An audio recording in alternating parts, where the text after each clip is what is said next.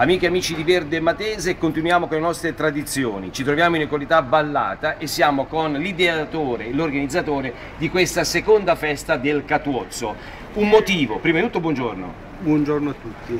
Un motivo perché gli amici che ci seguono devono essere qui in questa festa eh, perché praticamente mh, non per essere presuntuosi però penso che eh, questa festa almeno nel nostro circondariato è una delle feste più tradizionali e più caratteristiche che mh, si siano mai viste fatte nella nostra zona. Ecco. C'è la passione, c'è, la tradizione, c'è un lavoro, un lavoro molto duro.